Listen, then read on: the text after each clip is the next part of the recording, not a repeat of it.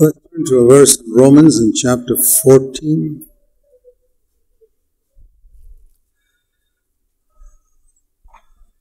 One of the words that comes frequently in the Bible, Old and New Testament, is the word righteousness. It's very frequently found in the Old Testament. Righteousness, it speaks about the righteousness of the law. And now, uh, Paul says, uh, first of all, I'd like to show you Philippians 3 before we go to Romans. In Philippians 3, Paul says, I want to be found in God. As Philippians 3, verse 9. I want to be found in Christ, not having a righteousness of my own derived from the law,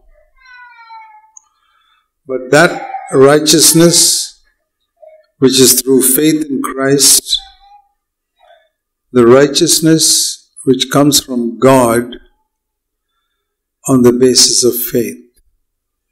So we here we read about righteousness of the law and the righteousness of God. What is the difference? I mean, we can know the difference between sin and righteousness. That's understandable. We have a conscience that tells us what is sin.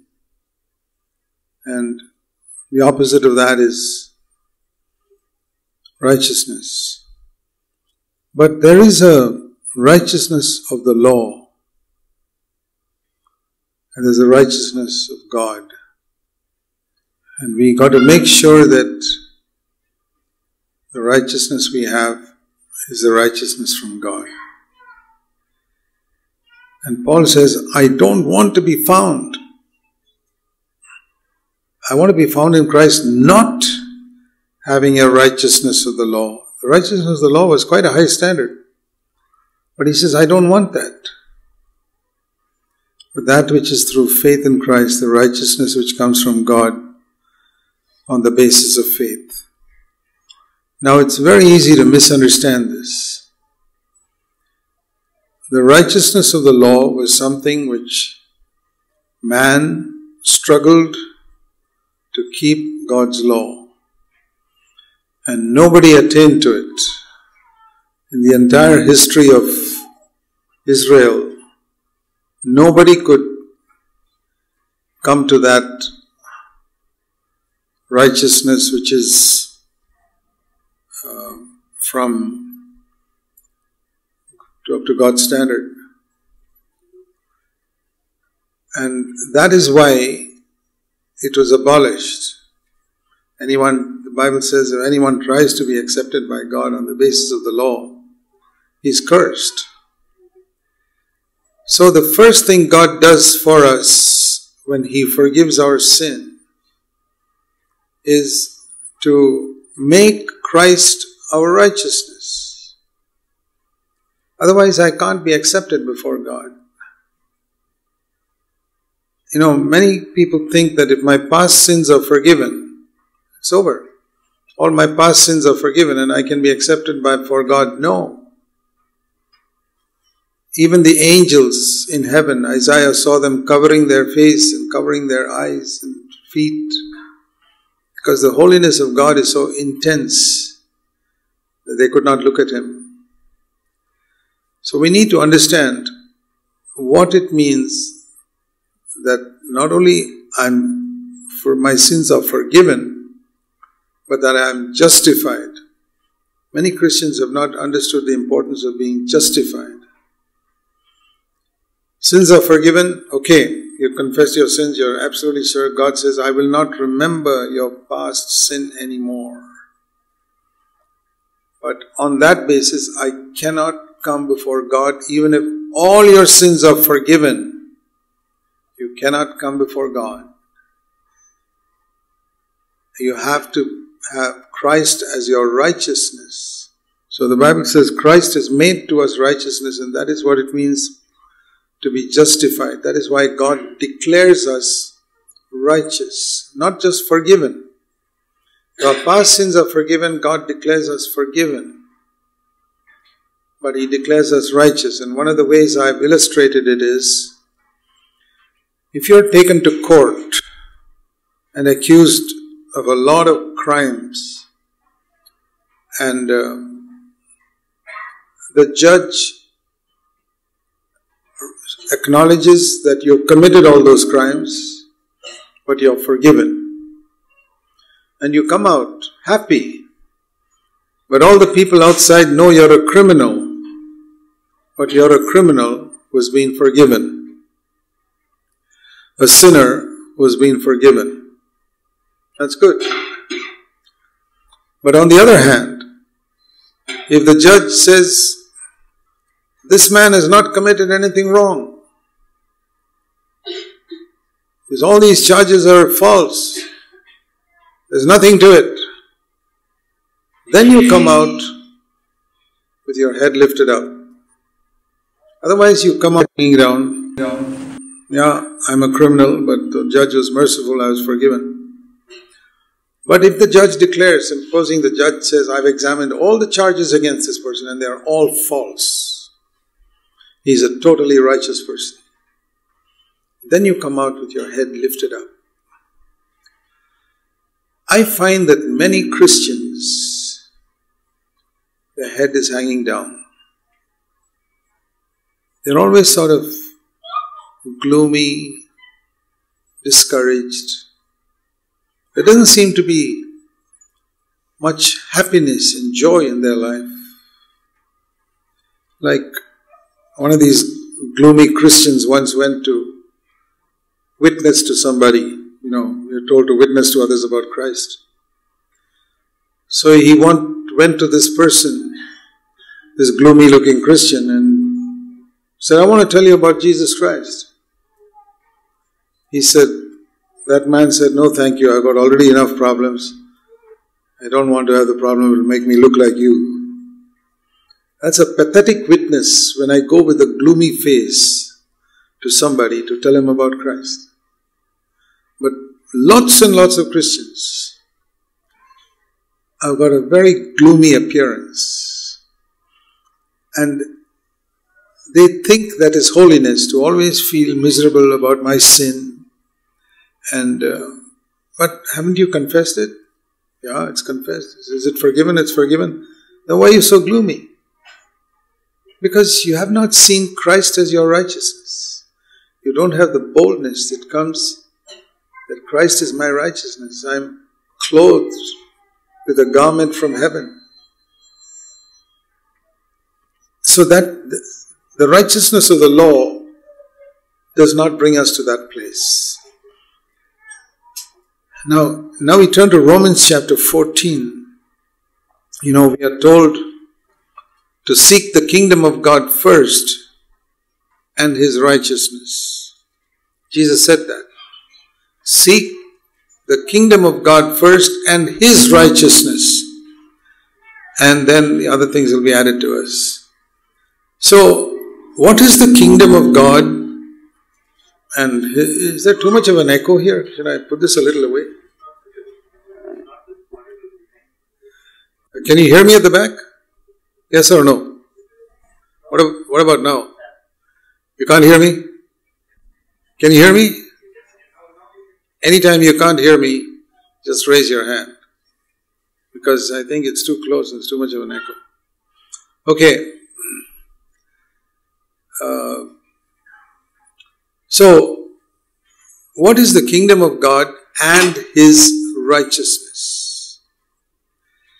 In Romans 14, verse 17, it says, The kingdom of God, here's a definition of the kingdom of God my guess is 90% of Christians have got no idea what Jesus meant when he said kingdom of God. They think it is doing missionary work or going out and preaching the gospel. I don't know if, uh, if somebody were to ask you, what does it mean to seek the kingdom of God first? what would you tell him? You'd probably tell him that spread the gospel or something like that. But here it says the kingdom of God is not eating and drinking, but righteousness and peace and joy in the Holy Spirit. That shows us the difference between the righteousness of the law and the righteousness of God. And it's very easy to find out which righteousness you have got. In the righteousness of the law, there is no joy in the Holy Spirit. It's a gloomy type of righteousness. Always serious, long faced, struggling to try and please God. And I've seen lots of people in CFC churches like that. Every time you see them, they're they're so serious and gloomy that nobody's attracted to Christ by looking at their faces. You ask yourself, you know, when people live with you in your office and all, do they feel attracted to Christ by what they see in you? They should. But if they see a gloomy, long faced person who's always trying to be holy, you're not going to attract a single person to Christ. It's a good question to ask yourself. How many people do you think are drawn to Christ by seeing you in your place of work? You've been working in your place for maybe 10 years. Not a single person was attracted to Christ by your life. Don't you think there's something seriously wrong with that? Are you quite content? Even if I work in this office for 30 years, I know nobody will be attracted to Christ, but you say, brother, what to do? They're not interested. No, the reason could be that they don't see the righteousness of God in you, which has got a joy in the Holy Spirit. The kingdom of God is righteousness, peace, and joy in the Holy Spirit. The righteousness without joy is the righteousness of the law. And such people are very legalistic also. They are very judgmental of other people who they feel are not measuring up to this standard. The Pharisees were, they had such a righteousness, it was a gloomy type of righteousness, and they were very judgmental of others. And I want to say honestly, there are a number of people like that in CFC churches. They have not understood the difference between the righteousness of the law, which Paul said, I don't want it. I don't want the righteousness of the law. I want the righteousness of God. Because the righteousness of the law is the Old Testament. The New Covenant righteousness is righteousness and peace and joy in the Holy Spirit. Now, joy doesn't mean we're always smiling. Smiling is different from joy. There are a lot of people in the world who smile and laugh. I never read in the Bible that Jesus smiled or laughed. I mean, I'm sure he did, but that was not the characteristic of his life that he was always smiling and laughing. But he always, always had joy.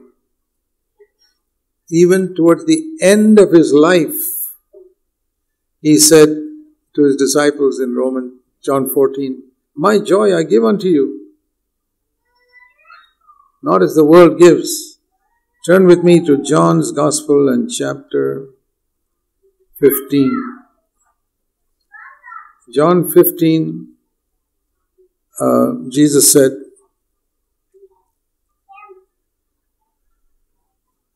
These things, uh, verse 11, these things have I spoken to you, that my joy may be in you and that your joy may be made full.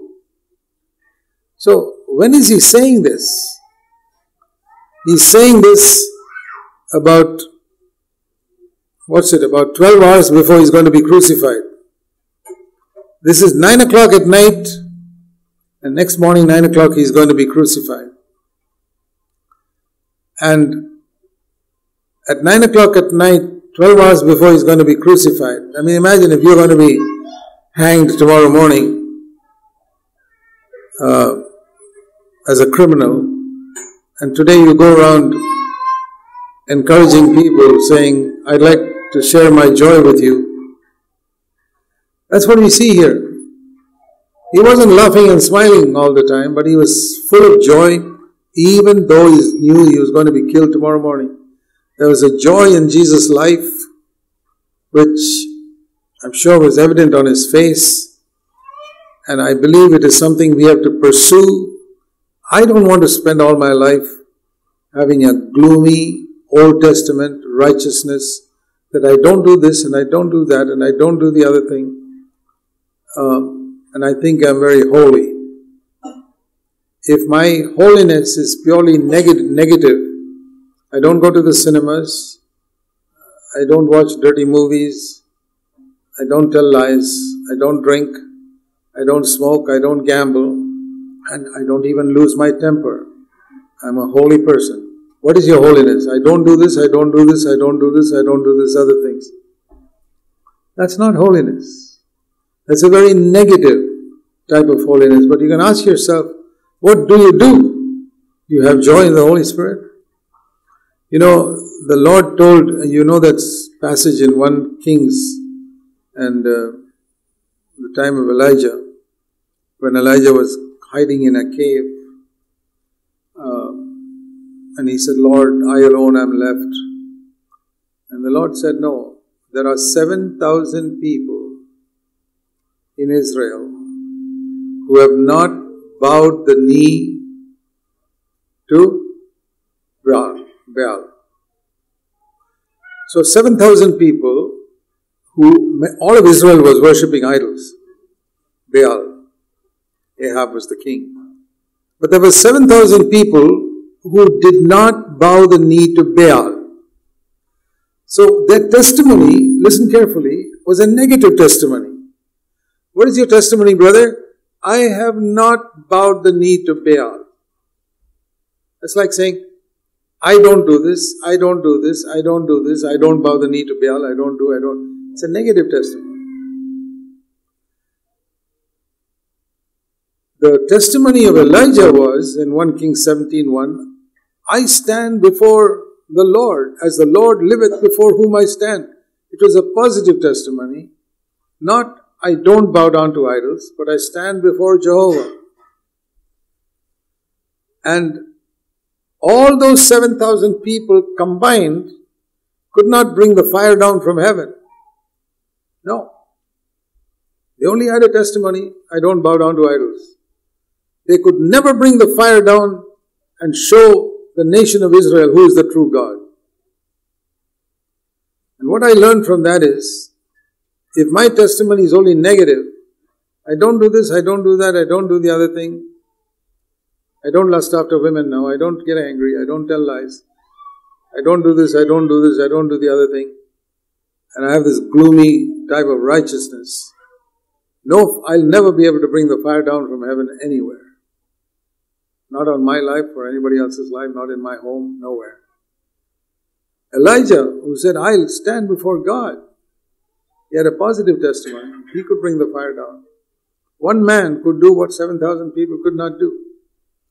So, what I'm trying to say is that one man who is filled with the Holy Spirit and the joy of the Holy Spirit can accomplish more than 7,000 people who are avoiding all types of things and who, who think they are righteous because they avoid so many evil things in the world.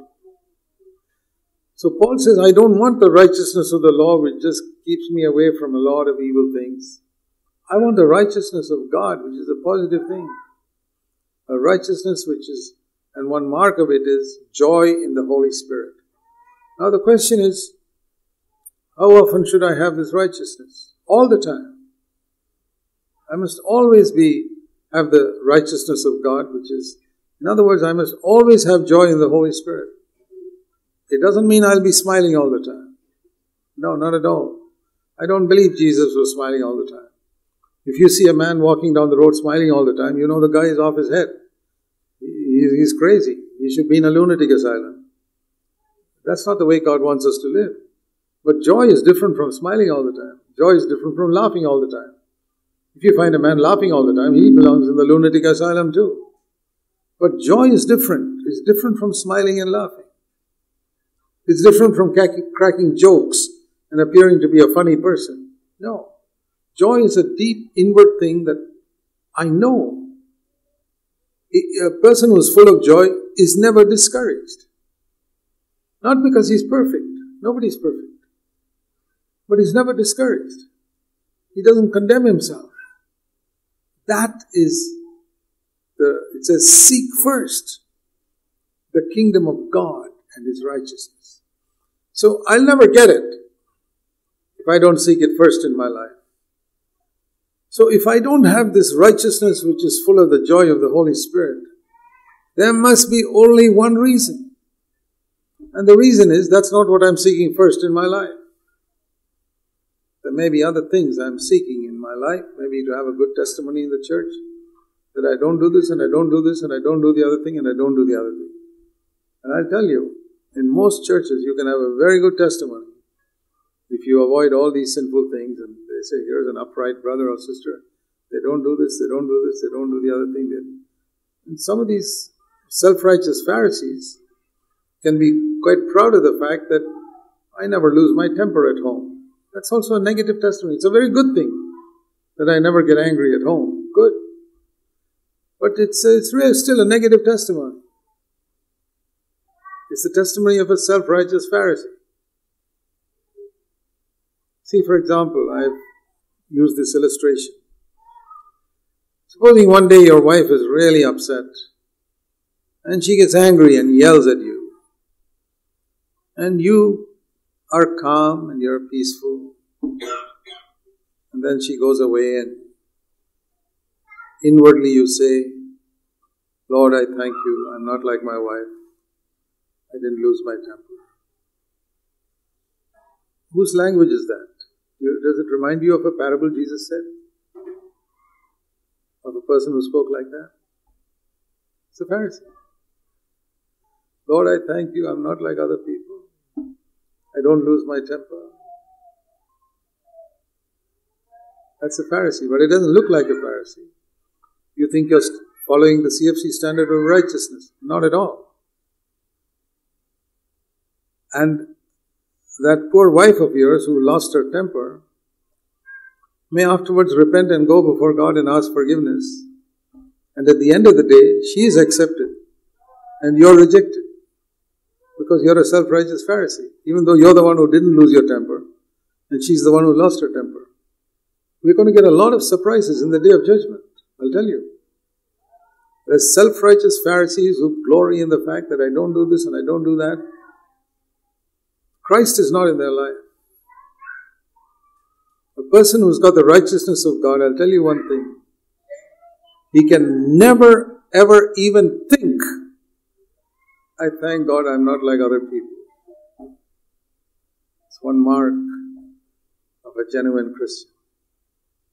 The moment you begin to think, Lord, I thank you that I'm not like people in other churches, something is wrong. The person who's righteous in God's eyes is not conscious of his righteousness. It's like, you know, you are, we ask who is a truly humble person? Well, it may be very difficult to define who is a truly humble person, but one, one proof is that he's not aware of his humility. That's for sure. If a person is aware of his humility, you can be pretty sure that fellow is not humble. So if you want to know whether you're humble or not, Here's one test. Are you very aware of your humility? Then you're definitely not humble. So, there are so, so many things we have to beware of, particularly self righteousness. It's one of the biggest problems in, in Christendom, particularly those who pursue holiness. The greatest danger, I've often said that the greatest danger in CFC is not sin, it is hypocrisy and self righteousness. It is people who are who are not pure in their private life, pretending to be holy, sitting in the bunch of in the midst of a bunch of holy people. That's one. And the second is feeling self-righteous and looking down on others who you feel are not as holy as you are. These are the biggest dangers in CFC. The, the danger in CFC is not murder and adultery and pornography and all that. Maybe people indulging in that in secret, but that's not the biggest danger. The biggest danger is this righteousness of the law, and I must steer clear of it. Paul says, I never want to be found with the righteousness of the law, which will make me look down on other believers, or look down on people in other churches, or look down on my wife, or look down on my husband, or satisfy myself that I'm not doing this and I'm not doing this, I'm not doing the other thing. And the test is do you have the joy of the Holy Spirit and the peace of the Holy Spirit? So it's a very important verse, Romans 14 17. Seek first the kingdom of God, and the kingdom of God is righteousness and peace and joy in the Holy Spirit. If I keep that always before me, I say, Lord, that's where I want to live. I always want to live with this righteousness which is coupled with peace and joy in the Holy Spirit. So, joy is a very, very important part of genuine righteousness. A righteousness without joy is not the righteousness of God. And even though the, right, the righteousness of the New Testament is not something that will make us smile and laugh, but a person who's joyful will not be going around with a long, gloomy face all the time. There'll be, there'll be something in his life, you know, which draws you. I like to be with joyful people. Tell you honestly, I don't like to be with gloomy people. I don't like to be with serious, long faced people because it's discouraging. So, please keep this in mind. And the other thing here is it is righteousness with peace and joy in the Holy Spirit. It's not just joy. So, peace is another very good test of whether I have righteousness. In the Old Testament, as I said, peace and joy were missing. And that's how we know it's the righteousness of the law. But when Paul says, I want the righteousness, I don't want the righteousness of the law, the test is do I have peace and joy? No, then it's the righteousness of the law. I don't want that. I want the righteousness which is from God, which is always accompanied by peace and joy in the Holy Spirit. So, peace is a very, very important aspect of the righteousness which is from God. And I want to show you two verses connected with that. One is Colossians in chapter 3. Colossians and chapter 3,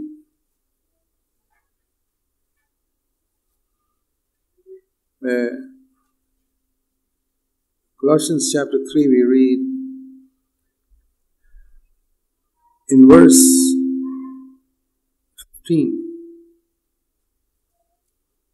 Let the peace of Christ rule in your hearts, to which you are called in one body and be thankful. In the margin of my Bible, it says, Let the peace of Christ be the referee in your heart. You know what a referee is in a football game? When a referee blows the whistle, you have to stop the game. You cannot kick a, the ball, even if you kick it into the goal, it will not be counted because a foul has been committed and the referee blew the whistle. You've got to bring the ball to that spot where the foul was committed, set that right, then only the game will continue. So it says the peace of Christ is a referee in our heart telling us a foul has been committed. Stop the game. Stop whatever you're doing and set that foul right. So what I get from that is that anytime I lose the peace of Christ in my heart, I lose the peace of Christ, that means that the referee has blown his whistle. It's a very good test anytime. Please keep this, take this seriously. The kingdom of God is righteousness and joy and peace in the Holy Spirit. So anytime in your life you find somehow the peace is gone, there's a little unrest in your heart and the peace of Christ is gone.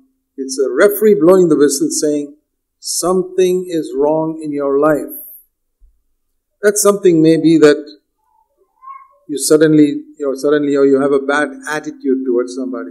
That's enough to destroy the peace. Or you're suddenly worried and anxious about something which is quite unnecessary because you've got a loving Father in heaven. The peace is gone.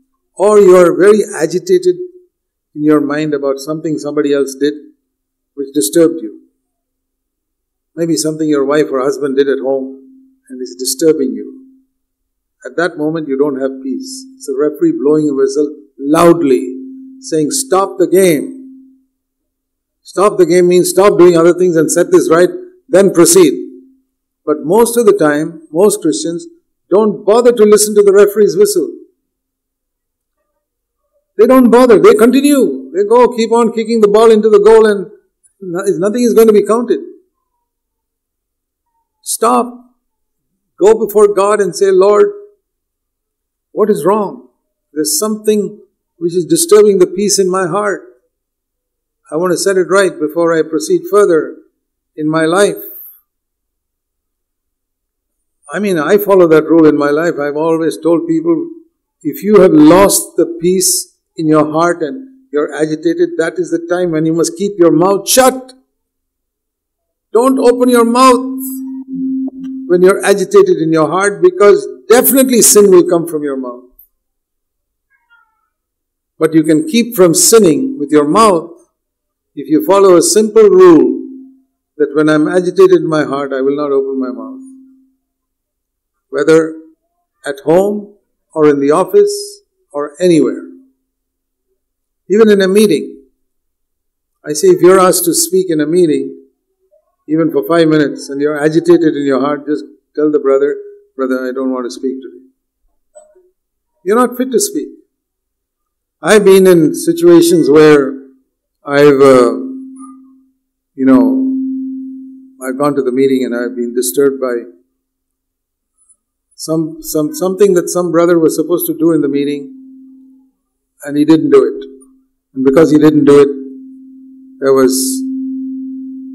some type of problem. So, I, I remember once this happened in a Wednesday meeting, and I, you know, before the meeting, we always have a time of prayer. And I found that we normally pray only 10 15 minutes, and I found that I hadn't come to rest in my heart about this thing that was disturbing me about something in the meeting that was not done properly. And I said, I have to come to rest, otherwise, I can't get up and speak in this meeting. So I said, what to do? We just we were kneeling down and we kept on praying. I said, I'm not going to get up from my knees till I come to rest. Without coming to rest, if I get up to speak, I'm not going to speak in the Holy Spirit. I'll be speaking with my own spirit disturbing uh, what I'm saying. Is something wrong with this? Not working?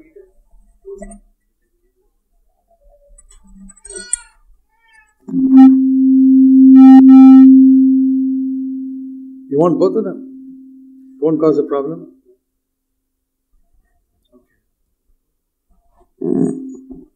This is like these meetings where important people speak and you have so many mics in front of you. Okay. so what I did was I kept on praying and it went on for 45 minutes. When I came to rest in my heart, then I got up. Because I have a law in my life. I will never speak in a meeting or anywhere if there's the slightest agitation in my heart because I will sin. Definitely. Because the referee has blown the whistle. How do I know the foul has been set right? I know the foul has been set right when the pieces come back to my heart.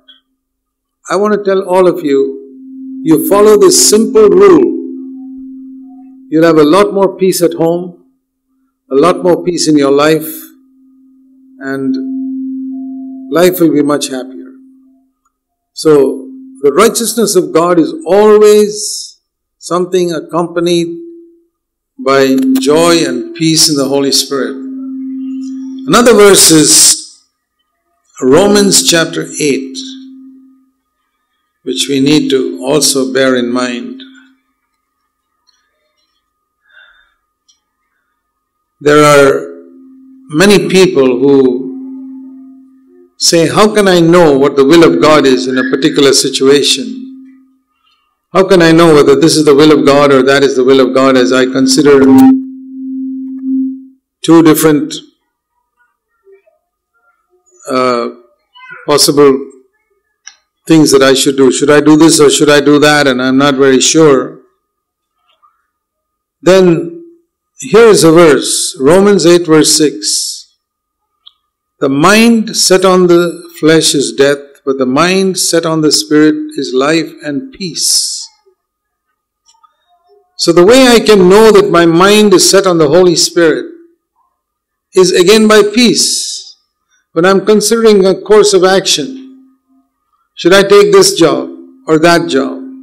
Should I marry this person or that person? The answer always is by peace in your mind. The Holy Spirit, the mind of the Spirit is always known by peace.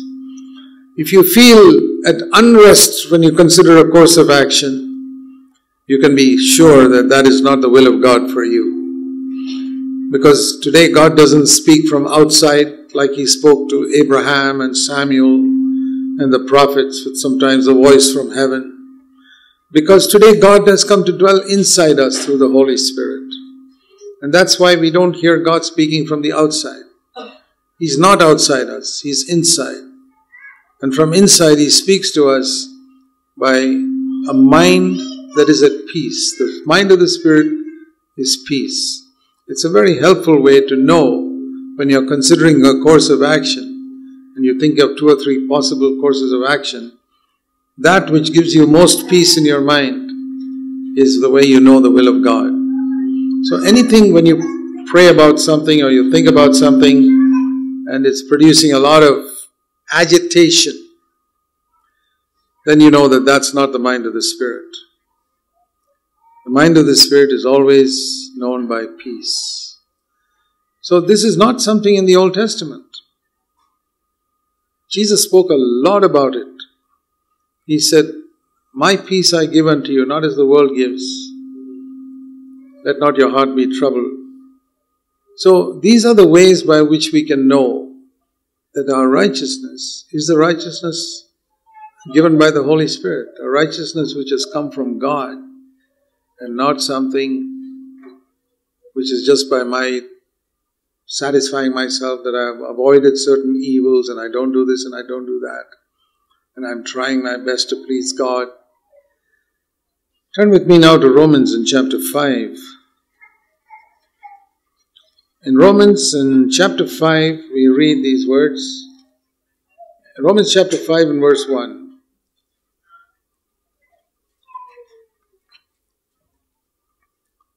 Having been justified, and justified means declared righteous. That's the meaning of justified, in case you did not know it. It means Almighty God has declared you to be righteous by faith Again, it's the same thing. If you have been declared righteous by God, you have peace in your heart with God through our Lord Jesus Christ. So, I don't know whether all of you see the importance of a life where we always have peace and joy in our spirit. That is the will of God for you. There must never be a time when I've lost my peace or lost my joy. If I did, I must do what the, they do in the football game. What do they do in the football game when the referee blows the whistle? Stop everything, put that ball back in the place where the foul was committed, and set it right, and then continue with the game. So I wonder whether we do that, that whenever I've lost my joy or peace, you take a few moments, and it doesn't take long to seek the Lord, even in the middle of your work you can say, Lord, I just want to wonder why this is happening. Why am I at unrest? And if you can't find a quiet spot in your desk in your office, go go to the restroom and sit there for two minutes and say, Lord, I want to come to rest in my spirit. I don't want to proceed like this. And where it becomes a habit in your life that you never will proceed in your life if you find the referee has blown a whistle. And if you will follow this rule from today, you'll find the tremendous difference in your Christian life, be a tremendous difference in your home life, a tremendous difference in your whole way of life if you follow this simple rule that I will not leave unrest in my heart for any length of time. I'll immediately try to set it right at the earliest possible opportunity. Sometimes it, uh, all you have to do is go and ask somebody's forgiveness. See if you have hurt somebody.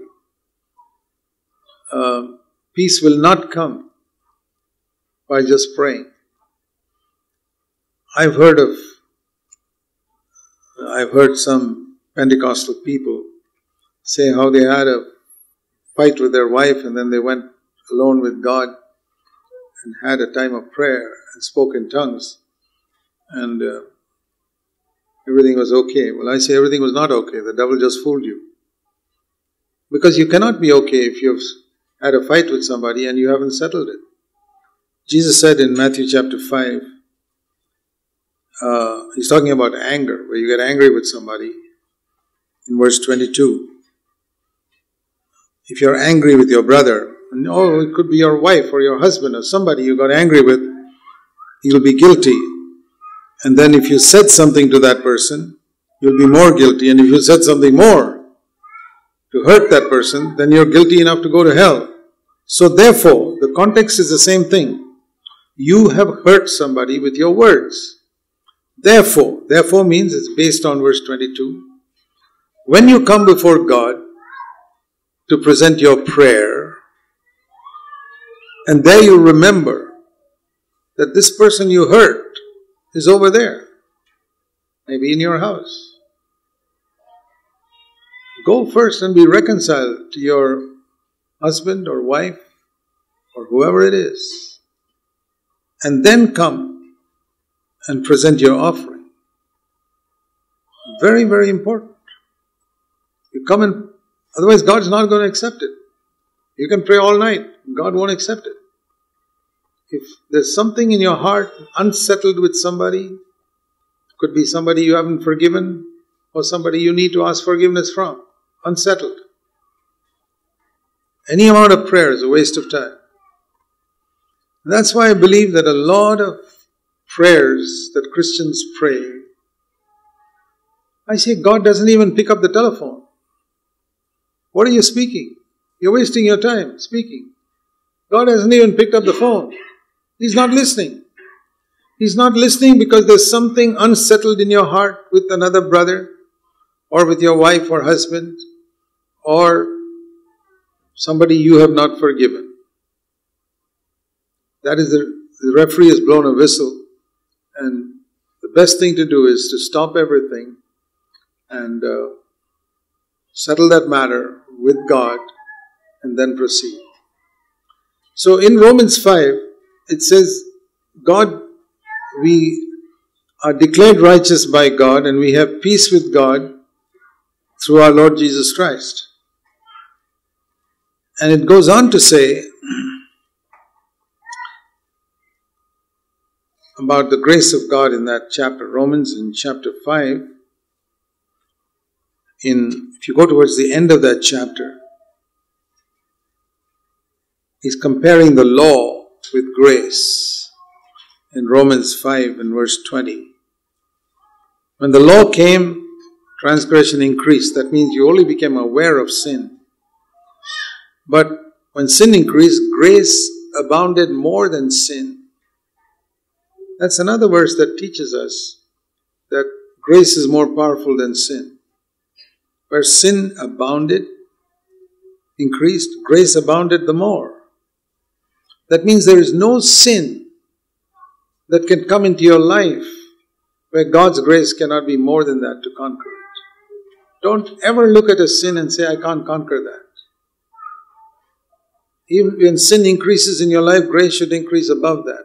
But you must have faith that God will give me grace to overcome that sin, that I can come to peace in this situation without being in unrest. But we have to ask for it. It says in Hebrews in chapter 4 about this grace. Hebrews chapter 4 and verse, you know, the well known verse that we quote often in CFC, Hebrews 4:15. Jesus was tempted in every point as we are, and yet without sin. And the reason he was without sin was because the grace of God was upon him. So therefore, what should we do? Therefore, in verse 16, whenever you see word therefore in scripture, you must try and find out why that word there, therefore, is there. What, it is, what is it there for? Therefore, let us now go to God and ask for grace to help me, verse 16, in the time of my need. So, what is the truth that we derive from the fact that Jesus was tempted like me and did not sin? Is it just a truth I must believe? Jesus was tempted like me and did not sin. What should I do? Therefore, let us also go to the throne of grace that we can receive the same grace that Jesus got in his time of temptation so that we don't sin. That's the meaning of the last part of verse 16. Let us therefore go to God and ask for that grace to help me in my time of need when I am tempted. And if I do that, I will live a life where I'm constantly having the peace and joy of the Holy Spirit.